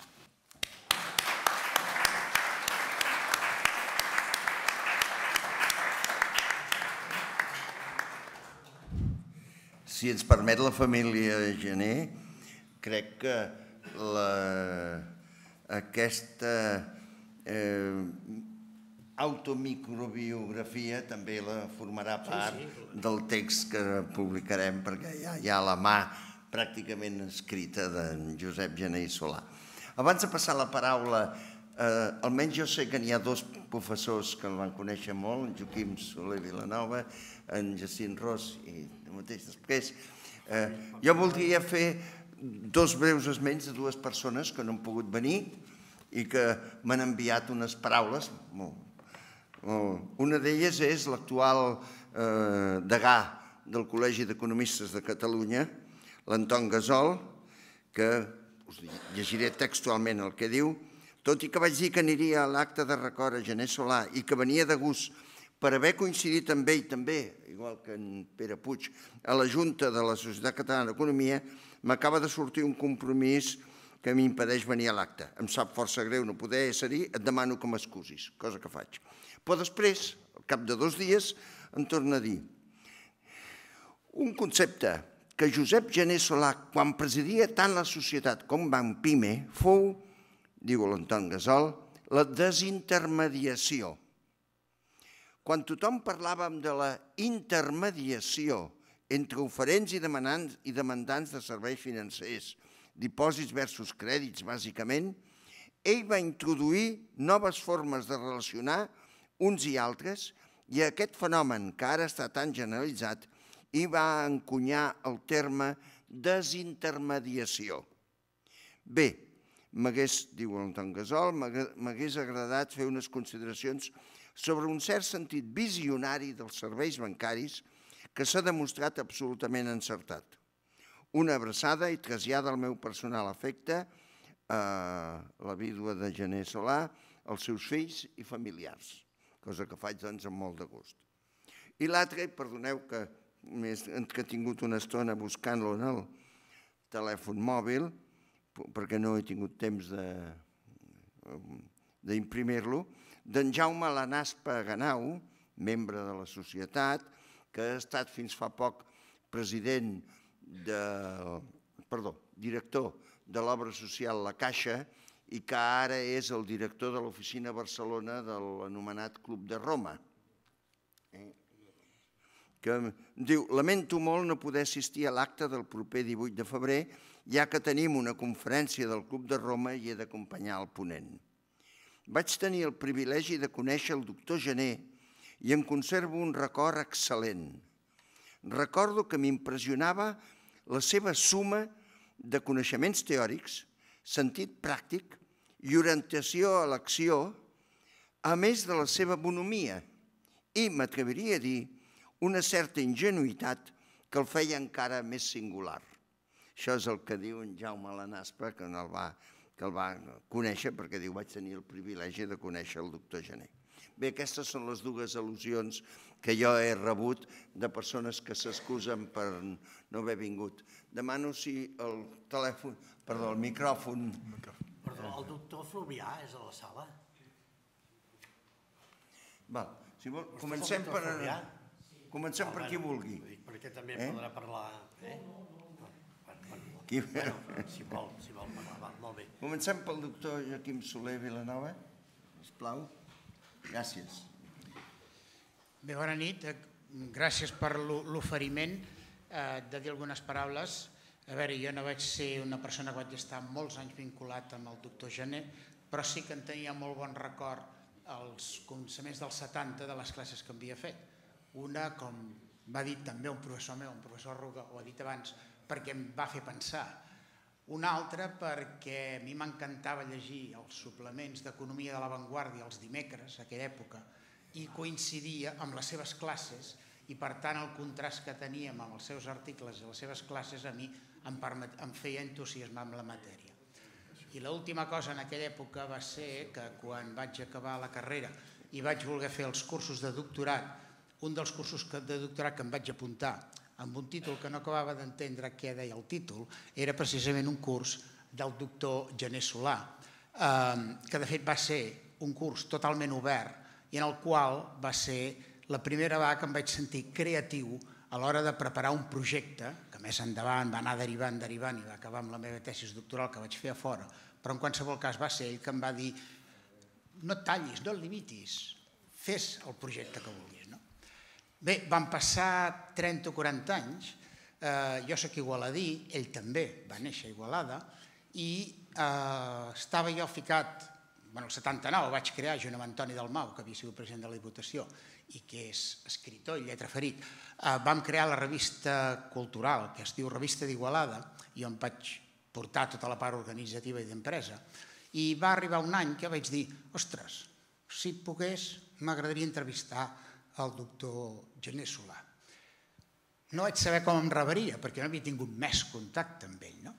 I vaig pensar, bueno, jo tampoc sóc periodista, jo puc fer algun article d'economia, però no sóc periodista. Llavors vaig refiar-me d'un altre company, el Rafael Jorba, que fins fa poc estat redactor a La Vanguardia, també és d'Igualada, i li vaig dir, escolta, hauríem d'anar a entrevistar el doctor Gené Solà si es deixa. No? Bueno, vaig contactar amb ell i vaig quedar meravellat de lo el content que estava de rebre'ns de l'entrevista que vam fer amb ell, me l'he rellegit i us llegiré algun paràgraf que, que explica de la seva infància, i després vaig veure que l'havíeu reproduït, em penso, com a pròleg d'un d'aquests llibres sense jo saber-ho i per tant encantat. Vaja, per mi era el millor agraïment per la tasca que havien fet amb això. us llegeixo algun tros d'ell perquè penso que ens ensenya una persona a la seva infància. No? Diu, va néixer, ell va néixer el 21 de juny del 36, per tant, escassament un mes abans de que esclatés la Guerra Civil. Diu, sortim immediatament d'Igualada, on es queda el meu pare, la mare amb una tieta i un oncle i tres nens, jo era el més petit, anem a parar a Can Solà, una casa de pagès entre Castell, Castellolí i el Bruc, és a dir, la casa que es troba a dalt del coll del Bruc sobre els túnels. Vivíem en una casa del costat de la masia, com si ja fóssim els temps moderns per estiuejants, però no teníem ni aigua, ni llum, ni res. I vam estar tres anys, tota la guerra. I després, en acabar la guerra, vam anar a Castellolí, on hi vaig estar fins als sis anys. Sabeu que és el poble en sortint ara pel túnel, el primer que trobes és Castellolí. Diu, jo era un nen molt feliç. Estava al mig del bosc, amb conills perdius, i el meu amic era el fill del peón caminero, que hi havia a la caseta del qual, eh, eh de quan s'acaben els revolts de Can Llucià. Suposo que la majoria aquí, per edat, tots recordem els revolts de Can Llucià que era la pujada al Bruc, i una caseta que hi havia dalt, que era el punt màxim, 700 i pocs metres, on hi havia aquesta caseta. Diu, baixàvem per la carretera com a bojos, amb un patinet fet amb quatre coixinets, i jo, que era el petit, a davant de tot, i un altre al revolt dient, uh, no puja ningú. Ho recordo com una època francament feliç. I l'anècdota és, és que un dia, amb un amic, vam calar foc al bosc, que de seguida es va apagar, però ens van castigar ens van agafar per l'orella i ens van dir a partir d'ara i com a càstig anireu a l'escola. Diu, és a dir, que jo he entrat a l'escola castigat. Hauria d'haver estat traumatitzat per tota la vida. Quan jo veig que actualment els psicòlegs, els pares i les mares es preocupen per quin índex d'intel·ligència té un nen de 3 anys, diu, fins als 6 anys deixa'l jugar. Jo hauria d'haver estat un fracassat perquè fins a 6 anys no em van portar, castigat i per l'orella, a l'Escola Nacional de Castellolí, Diu, després, als set anys, vaig anar a Igualada, als maristes. Casualment, jo també vaig anar 15 anys més tard als maristes. Diu, recordo que feia fred que pelava i que anàvem a bufetades amb els de Can Colapi. Bueno, jo el fred també el recordo, ja no anàvem a bufetades amb els de l'Escola Pia o de Can Colapi, diguem-ne. No? Última cosa que vull simplement llegir, que m'ha fet gràcia retrobar-ho, jo segueixo a la universitat amb, actiu, perquè ens podem jubilar als 70, per tant, segueixo plenament amb actiu, i a més a més comparteixo totalment algunes coses que diu aquí i acabo molt breument. D'algunes coses que heu dit, no? Diu, eh, diu, a mi em van cridar política econòmica i va ser una sorpresa enorme perquè les meves millors notes de matrícula eren estadística, matemàtiques, econometria, comptabilitat. Em vaig decidir anar-hi perquè la matemàtica és un gran instrument i en canvi la política és la vida real i a mi m'agrada actuar, canviar el món. Diu, sí, diu, els professors universitaris, això ho podem aplicar avui amb tots, totes les paraules que venen a continuació. Diu, sí, els professors universitaris cal que baixin al carrer, perquè jo, més que canviar el món, en plena efervescència del maig del 68, deia als alumnes de Màlaga, més que fer la revolució, sabeu què hem d'aconseguir? Que el fanal de davant de casa tingui bombeta i s'il·lumini, que les escombraries es recullin, que els nens tinguin guarderia, perquè si tothom ho fa, el món canviarà. Molt bé, moltes gràcies.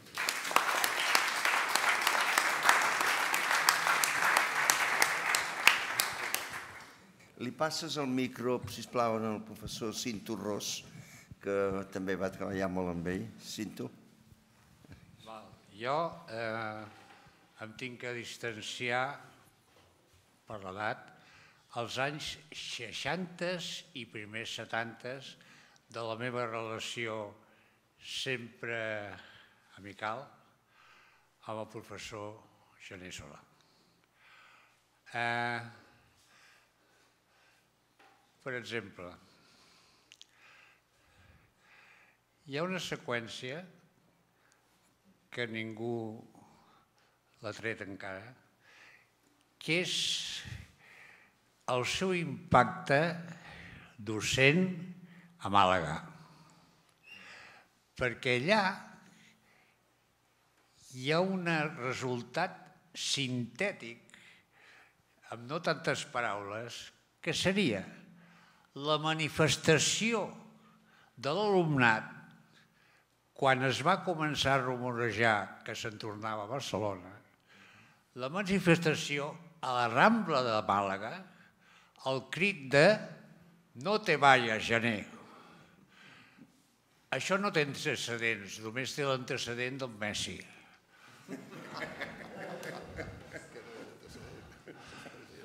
Dos. Eh, amb motiu de la seva tesi doctoral, el problema de los salarios en Espanya. Jo no sé com va, arribar, va poder fer una enquesta eh, d'una mostra molt àmplia empreses, sindicats, a moltes empreses, pimes, i el dia de la defensa de la tesi que havia dirigit el professor Estapé, les caixes de l'enquesta estaven presents, perquè el gener volia que tothom comprovés que havia fet l'enquesta. Però el bo, per mi, és una estapatiana, que ja sabeu que jo classifico i celebro. L'Estapé, al moment de defensar la tesi, va dir, més o menys, eh, y aparte de los méritos de la investigación, resulta que no tiene antecedentes que mida dos metros cúbicos la tesis, que eren les caixes. Bueno, eh, jo vaig participar a Economia Efectiva, molt de gust. Eh, de fet, sóc hereu de la seva càtedra, perquè quan va optar per la banca va deixar la, la càtedra lliure i és quan va vaig poder fer el, el concurs de trasllat. Per resumir encara més, jo crec que es pot dir, com qualificatius sintètics, que Gené era, per exemple, un innovador, segur, un gran sentit de la innovació. Eh, jo crec que sempre estava ben alimentat de literatura anglosaxona. Seguia la teoria i l'economia aplicada. Parlant d'economia aplicada, no ens deixem, sobretot, la seva gran capacitat de treball, perquè no tots els economistes aplicats són aplicats. I ell ho era. O sigui, no sé com podia tenir tanta energia eh, per desplegar diverses vessants i sempre seriosament. Jo no diria mai que era inquiet. El gener era quiet, serè, seriós. Ens classificava, classificava els temes. No era inquiet. Un inquiet és un, un, un bellugadís. No, no. Eh, era seriós i per acabar, els meus temps, estant jo al gabinet de programació de l'Ajuntament, el gener va tenir la iniciativa, al marge de nosaltres que ja estàvem d'economistes al gabinet, d'oferir al, al director del gabinet una, una recerca sobre comerç a Barcelona. I el pobre carceller, dic pobre perquè d'economia no en tenia un res, em va comentar es que este profesor Jané me ha dicho que él lo haría seriamente. Diu, y debe de ser verdad que es muy serio, porque me ha hecho un presupuesto de dos millones de pesetas. Res més per ara. Moltes gràcies. Ramon? Ramon Trias? Sí. sí. Poseu-vos drets i sigueu breus perquè efectes de gravació és millor. Eh? Sí. Peita, mira, el meu nom és Ramon Trias. He tingut el, el privilegi de treballar amb en Josep Gené, amb un entorn una mica diferent del que s'ha comentat fins aquí. Fixeu-vos, moltes dels temes que s'han parlat d'ell eh, estan més lligats a publicacions o a treballs institucionals o a fetes institucionals, però també va fer alguna cosa que penso que és important. I ho dic perquè personalment eh, m'afecta. Va, va, va ensenyar-nos no, no només a pensar, com has dit abans, va ensenyar a decidir, a prendre risc i a fer que les coses passessin. Que s'ha closat abans també, era un bon organitzador. Jo vaig aprendre molt d'això. Vaig muntar una empresa eh, fa 32 anys d'intel·ligència artificial i les primeres aplicacions que vam fer va ser entrar a Catalunya i a Espanya el concepte d'algoritmes per tractament de risc de crèdit. I sabeu quina és la primera que vam fer en el banc de la petita i mitjana empresa? i després heu escampat, després ho vam exportar a, a, a Mèxic, a Argentina, a Xile, a Colòmbia, i des d'aquests centres, que és on tinc sucursals, ho he anat a escampar als altres llocs. Bé, eh, quan vaig dir que vaig inscriure aquí, també es va inscriure en Gomercindo, que eh, ha, ha estat mencionat per quasi tots vosaltres i pertany en aquest espectacle de la manifestació No te vayas gener a Màlaga. I de fet el van seguir i eh, en Gomercindo va dir, mira, és impossible, impossible de venir. Amb el Gomercindo hi mantinc relacions professionals eh, i en certa mesura amb alguna cosa acadèmica, hem publicat alguna cosa plegats. Però sobretot hi tenim molta relació i eh, eh, el Josep Gené està present, ha estat present a moltes de les nostres converses. Per tant, puc dir, eh, eh, amb ple coneixement, que és un home que se l'aprecia, el venera, eh, perquè també li reconeix que la seva vida, la seva vida professional, la seva vida, eh, ha estat en gran mesura eh, eh, pendent de les, de, de, derivat de les eh, eh, mm, orientacions que li va donar a Josep Siner. M'ha demanat en, en, en Gomercindo que llegeixi un text com que m'heu advertit que anem una mica justos de temps, el que faré eh, és nomenar d'on es pot eh, treure, perquè és una publicació que segurament vosaltres l'heu vist tots, i, i em faré un glosari de dos o tres conceptes que m'han semblat particularment interessants per aquest acte. Eh, la notícia va sortir a Notícies de Política Econòmica el març de 2018, és a dir, està a la vora. I era, dintre dels temes, veureu que hi ha un submonogràfic que diu Submonográfico 50 años de la edición del libro El problema de los salarios en España, de, José Gené Solà. I aquí hi ha intervencions de l'Isidro Antuñano, de, del Joaquim Novella i del Gomercindo Ruiz. Eh? I ell, d'aquest tema, que ja dic que podeu prendre-ho d'allà i en tot cas es pot posar a la publicació, però per resumir, jo hi destacaria tres coses que el Gomercindo destaca aquí. Primer, el que ell diu la forma d'anàlisis. Ell diu, el mètode que té d'aproximació fa 50 anys, amb un entorn que ha canviat totalment, han aparegut formes, eh, canvis polítics i tot plegat, ell diu, es pot incorporar totes aquestes novetats en el mateix mètode que ell va fer. Eh? Precisament del que comentaves abans, comentaves molt bé abans del tema de les enquestes, un dels temes que va encomanar quan estaven al servei d'estudis de Massardà és eh, tractar informació del mercat de treball que el vam treure de més dels anuncis de l'avantguàrdia. Era una informació molt desestructurada, és a dir, eh, els temes a l'ús en aquell moment de l'econometria, de les regressions, no, no funcionava. I eh, discutint amb ell vam acabar aplicant un tema que era els sistemes de classificació automàtica, una cosa que es diu Classification Regression Trees, que havia executat un professor de Stanford, que es diu eh, Jerome Friedman, que encara està en actiu, i eh, avui es té com la gran novetat. I parlo, i parlo de començament, de finals dels 70s, començaments dels 80s. És a dir, ell diu, la forma d'anàlisi la visió que tenia aquest home era extraordinària. És la primera cosa que destaco. L'altre tema que també ha sortit en aquí, però que ell hi posa molt d'èmfasis, parla satisfacció i orgullo d'haver disfrutado de sus enseñanzas.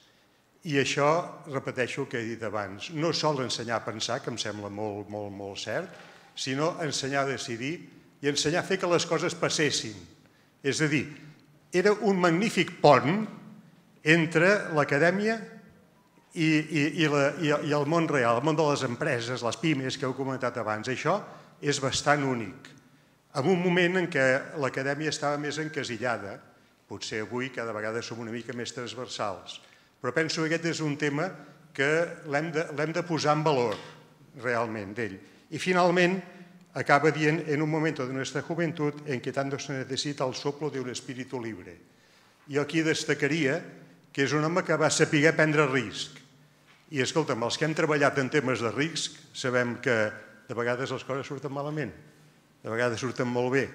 Jo quan parlo amb els meus clients del tema de crèdit dic, mira, tinc un mètode que no, no, no, no tindrà, tindrà zero de percentatge de default de, de, de gent que no li pagui.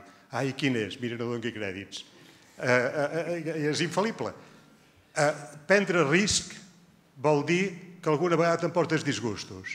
Però això, això el fa més valuós encara. I bé, és veritat que va haver-hi moments, com ha comentat abans també l'Òscar, les coses no van sortir com es pensaven, però, però he volgut, he volgut he volgut destacar aquests temes. I podria estar parlant el temps que em deixéssiu, però sé que tots tenim tant. Moltes gràcies.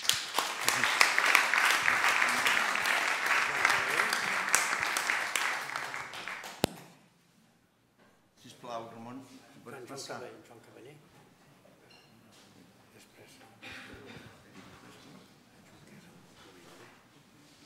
Gràcies. Eh, molt bé, moltes gràcies. Eh, moltes gràcies per, per poder expressar una mica el, uns sentiments amb en, amb en Josep i, i vivències. Primer sí que vull agrair, eh, com a membre de la Societat Catalana d'Economia, aquest acte d'homenatge que heu organitzat a la societat. Un acte que crec que, que tocava fer i que estic molt satisfet com a membre que avui puguem gaudir d'aquest acte. Jo parlaré d'en Josep des de la vessant que més vaig conèixer, que és la de banquer Eh, és fonamental eh, per mi l'experiència que he tingut també des de, que vaig tenir amb ell des de l'any 80 fins a l'any 2002 eh, a Banpime. De fet, eh, ell, bueno, doncs va, quan va, amb la caiguda de les Terres Bessones, va deixar la presidència executiva i des d'aleshores, des de l'any 2001, doncs m'he mantingut una, una amistat i, i un munt de converses lligades a temes, com hem comentat abans, de cooperativisme. Eh? Eh, bueno, jo vaig iniciar la carrera amb ell a la facultat i la càtedra i ben aviat vaig incorporar-me al servei d'estudis de Banpime, just quan ell va crear el banc. Primera heterodoxia d'en Josep Jané, qui a Europa, que sempre estava parlant d'Europa, sense ser un potentat, creava un banc. Eh, per tant, diguéssim, ja aconseguir coses eh, realment eh, inaudites. No? Eh, ell em va plantejar l'assumir la gestió de la tresoreria, que en aquella època era una activitat que era lligada amb els mercats financers, que era una activitat que en aquell moment començava. Fins aleshores, a la banca, els mercats financers no existien. I, per tant, tots els elements de la relació entre la política monetària i els mercats financers, eh, també eh, la seva visió d'incorporar-nos en, aquest, en aquest àmbit també era algo heterodoxa. I jo he de dir que, que a part de l'heterodoxa i que s'ha demostrat amb el temps la, la, la rellevància no? de tot el que és l'àmbit dels mercats financers, també penso, no puc més que agrair-li la confiança que un economista de 25 anys li deixés la responsabilitat de desenvolupar-se en tot l'àmbit dels mercats financers. Que això jo crec que és una que diu molt de la seu, del seu tarannà eh, que després comentaré una miqueta, una miqueta més eh, en, en detall. Tots aquests anys de Banpime van ser uns anys extraordinaris un petit banc heterodoxa que va incorporar tot un seguit d'innovacions, com ja s'ha comentat, la venda de la, de la cartera de lletres, com la creació d'una companyia de vida, com, la creació, com el fet de que eh, quan va crear el banc solament va incorporar dos banquers, dues persones que havien treballat en banca. La resta eren persones que no eren del sector bancari. Va crear eh, el primer fons d'inversió monetari, va crear els DATs, es va crear, i creguin-me que és així, la primera supercuenta d'Espanya que està atribuïda a un gran banc nacional no era del Banc Nacional, sinó que era en Josep Jané, que amb la seva visió va incorporar aquest producte de les, de les supercuentes. I recordo uns cartells a la Diagonal posant les supercuentes al 6%, que va ser la primera entitat que ens van posar amb això. Com també crear una xarxa d'agents financers, com crear o posar a impulsar els pagarés d'empresa com a mitjà perquè les pimes poguessin finançar-se i un banc que es dedicava a les pimes també sense ser un banc públic. Tot això en un context d'estatu quo bancari, en gener, va ser un autèntic disruptiu total eh, i absolut. Però fent-ho des del seny, des del que abans hem comentat, en gener eh, li agradava gestionar el risc, el risc és associat a una oportunitat. Quan, quan assumeixes un risc és que tot risc i la gestió eh, de, de riscos el que al final és gestionar diguéssim oportunitats de millorar i un banc que el que es va dedicar va ser a intentar eh, donar el màxim valor en els seus accionistes i en els seus clients. I també mai s'havia vist que un banc organitzés un acte i que es tingués que suspendre perquè la balança de gent que hi anava era tan gran que es va tenir que, que, que, bueno, que dir, bueno, ho farem una altra vegada i no sé si van fer-ho al final al Palau d'Esports de Madrid perquè va ser, allò era una, una, una uh, bogeria. S'ha parlat dels pòsters, uh, la, la, la, la, la idea de l'alfabetització eh, econòmica, l'alfabetització també financera. Eh, quin banc eh, actualment podem pensar que fa aquest tipus d'activitats quan estem parlant de diguéssim, la falta de transparència, etc. En gener ja explicava les coses i l'altre element fonamental era les, les assemblees. No? L'assemblea on evidentment hi havia una part que de mitja hora o tres quarts que parlava diguéssim, dels números, però els es parlava i després feia diguéssim, el seu speech econòmic, on ens situava on estaven les coses, però on explicava el balanç d'un banc de forma que la gent el pogués entendre. Jo crec que això és, eh, és fonamental per entendre el perfil i el tarannà d'en de, Josep. Per tant, un banc que va ser referent en modernitat, d'innovació, assolint un posicionament que en molt pocs anys, en un context de, en aquella època existien més de 300 entitats financeres en aquest país i que era realment eh, absolutament disruptiu. Jo penso a vegades, si ara en gener, i, i rumies, no? si en gener estigués ara, doncs jo crec que seríem la fintech, o tindríem la fintech més disruptiva eh, i, i, diguéssim, i, i estesa a les persones que ens puguem, que ens puguem imaginar. I després també m'agradaria enfocar una mica el seu paper com a líder, no? com a líder de, de, de Banpime. Jo, clar, vaig tenir la immensa sort de viure tots aquests anys eh, dia a dia, eh, pràcticament dia a dia, perquè ens veiem molt, molt sovint, i he de, de dir que, que Vampimes vivia un clima innovador, un clima on et, gener et deixava eh, fer. Jo crec que ell, més que fer-te fer, ja feia ell molt, no? però et deixava fer. Et, eh, què s'ha comentat? Eh, a vegades li plantejaves un tema on tu eres expert i ell no ho era, i sempre la qüestió era que feia les preguntes punyeteres més que, que et feien reflexionar, no? que et donava, no et deia el que tenies que fer, sinó que et feia aquella pregunta, que a través de la pregunta eh, tocava eh, aquell tema que potser havies eh, encertat potser una, una mica menys. Per tant, jo crec que això també eh, s'ha de, per mi, destacar aquesta actitud tremendament generosa de donar. O sigui, jo crec que era una persona que donava tot el que hi portava dintre, que era una, una immensitat, i que d'alguna manera sí que era important que tenies que estar sempre eh, avasat a seguir-lo i escoltar-lo per, per realment aprofitar tot aquest, eh, tot aquest bagatge. Per tant, jo crec que bueno, han estat 22 anys treballant amb ell, Eh, jo vaig tenir la immensa sort de que fa dos anys em van, l'Institut d'Estudis Financers em va otorgar un premi a la trajectòria professional que ja li vaig dir en aquell moment, que, i ho vaig dir públicament, que jo ja tenia que agrair-lo al meu pare professional, que era en Josep Jané, perquè ha sigut aquella persona que ha inoculat aquestes ganes, aquesta eh, crear i sobretot també pensar en un bé comú, és a dir, que en Jané era una persona de, de... mai en parlava, però era una persona que destilava uns valors humans eh, de, de, primera, de primera magnitud. I bueno, jo crec que el seguim, moltes vegades el seguim tenint present quan eh, davant d'un problema penses i ara el, perquè també li dèiem al mestre, el mestre en gener eh, com resoldria aquest tema o què et plantejaria. No? I crec que és una persona que amb aquesta manera, un, un, diguéssim, tan, eh, amb aquesta capacitat diguéssim, anticipativa i aquesta visió tan ampla de, de les coses amb, a més amb els seus valors, eh, crec que és una persona que sempre tindrem i el portarem a sobre, perquè la veritat és que eh, segueix encara donant-nos eh, lliçons, entre cometes, tot i que era una persona que no li agradava donar lliçons, però s'explicava eh, i que d'alguna manera doncs, eh, crec que ha sigut una persona que ha contribuït moltíssim, moltíssim al que és la transformació del sistema financer espanyol, eh, des d'una posició, diguéssim, absolutament eh, fora de l'estatu quo, fora de l'establishment, eh, creant, construint i sobretot doncs, aportant, jo crec que molt valor al conjunt de les persones i en aquest cas tant els socis o els accionistes com els clients de, del Banc Pime. Eh? Gràcies. Moltes gràcies.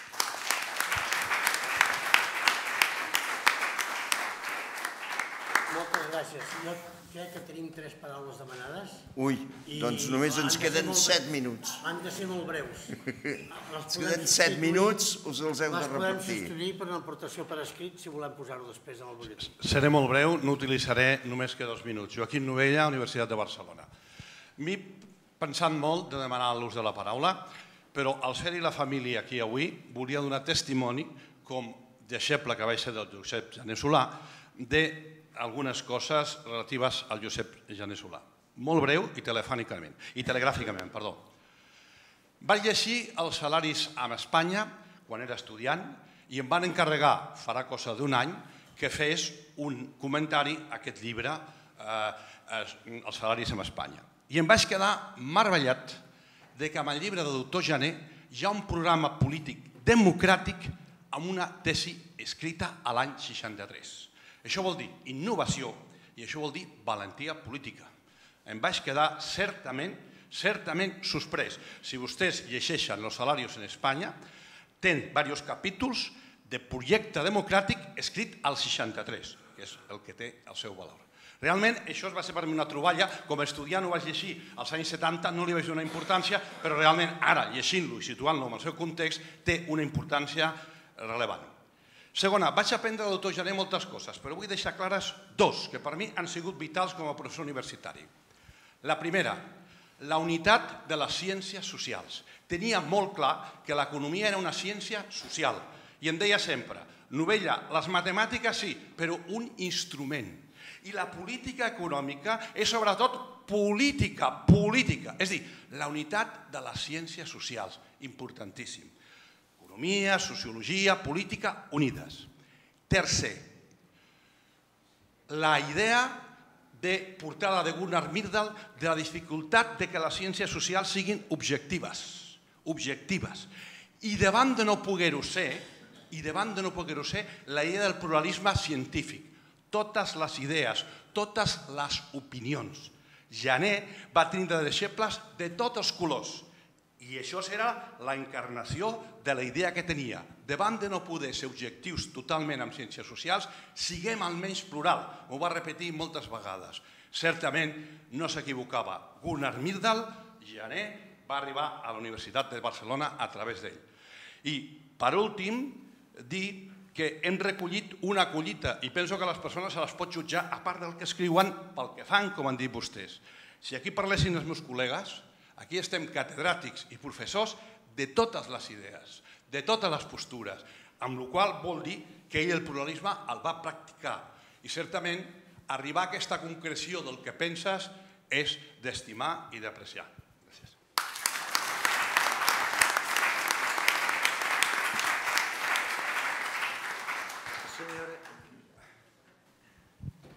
Hola, buenas tardes. Eh, Marisol Rodríguez, catedrática del Departamento de Política Económica. Yo creo que fui la última eh, alumna, dijéramos, de Janet y tengo el orgullo de considerarlo mi mentor. Eh, esa palabra que ahora utilizamos tanto. Fue un placer tan grande pertenecer a su seminario, observar esa combinación que aquí, bueno, la mayoría de los rasgos de Janellas han destacado perfectamente en este auditorio, eh, esa combinación y esa manera de pasar de la micro a la macro, de combinar toda la experiencia empresarial que él tenía y que él sabía y convertirlo en medidas de política económica con esa pluralidad en esa visión. Em, verdaderamente un, un placer absoluto. Yo también he querido pedir la palabra sobre todo por la familia, por mostrar el cariño, que yo tenía a Janet y que creo que Janet me tenía a mí. En unos momentos que todos sabemos muy eh, difíciles para él, en agosto de 2002 yo le escribí una carta diciéndole precisamente eso, que consideraba que se había cometido una injusticia con él y que yo lo que más recordaba era su talante y su empeño modernizador ya se tratase de España, de su política, de Cataluña, de su economía o de su sistema bancario. Yo creo que Janet fue castigado sobre todo por ser un innovador, alguien que empujaba siempre la frontera, alguien que siempre estaba un poco más allá, que buscaba el resquicio. Y eso es lo que nos transmitió. Nos transmitió eso, el talante innovador, nos transmitió también ese pragmatismo, cuando comentabais lo de Suecia y la admiración que él tenía por la economía sueca y los demás. Él siempre, después se paraba un momento y decía, pero yo miro aquí todas estas cabezas y no veo suecos, veo españolitos. Y entonces ese realismo era el que nos transmitía también. Tuve además la suerte de, yo me dediqué después, a, bueno, sigo dedicándome a la política económica, pero profesionalmente me dedico más a la economía de la salud y tuve la gran suerte de continuar la relación con Janet y con su familia porque fui miembro del tribunal de su hija Mireia Janet, que está aquí, que ha hecho salud pública y la salud pública nos queda muy cercana a los economistas de la salud. Y desde, bueno, siempre hemos tenido esa cercanía que yo, ese es otro rasgo que, que, querría destacar de Janet. Cuando yo le mandé esta carta, él me dijo una de las veces que nos encontramos, yo esa carta la llevo aquí, en el corazón. Janet sabía transmitirte en muy pocas palabras esa cercanía y ese cariño también. O sea, era, era una persona que podría parecer a veces eso mmm, distante, mmm, pero no, te tenía cerca, te tenía en el corazón y eso es lo que yo quiero recordar hoy aquí de él. Muchísimas gracias.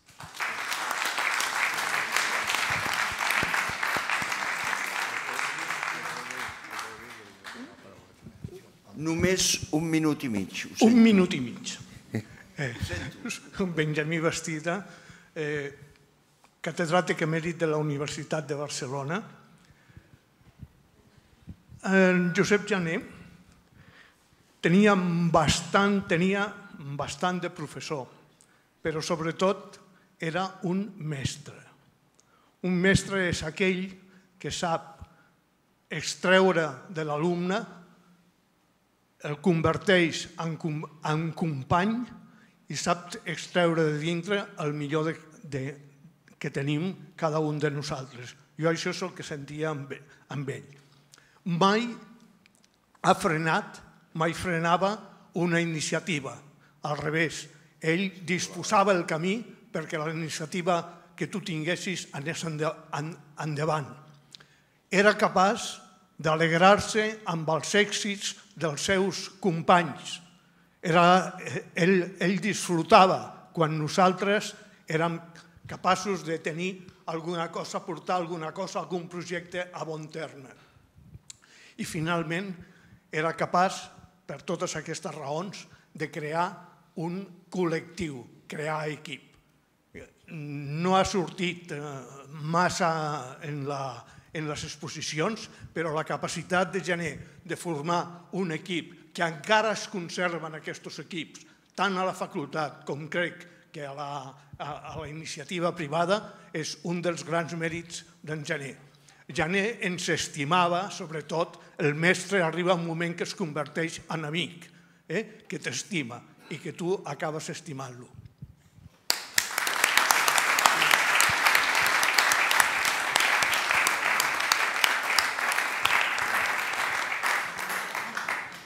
Moltíssimes gràcies a tots. Ho sento, però no tenim més temps, no ni un minut, tu, perquè si no ens, ens hauríem de quedar aquí a dormir perquè ens tancarien la porta. Eh, ho sento, Francesc, o Paco.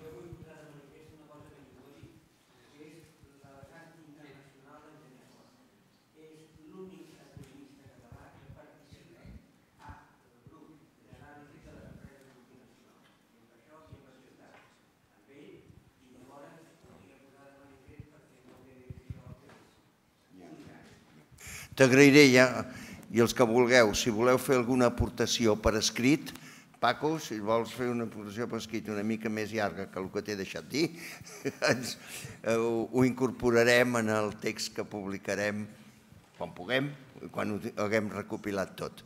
Moltes gràcies, repeteixo, a l'Institut, Maria Coromines, la presidenta de la secció Filosofia i Ciències Socials, que és la meva presidenta, eh? I directora, com ara s'ha posat de relleu aquí, eh? i a tots vosaltres, sobretot, moltíssimes gràcies perquè hem constatat que hi ha un record important i una petjada que ens ha deixat en el nostre cor i en el nostre cap en Josep Gené i Solà. A reveure, molt bona nit.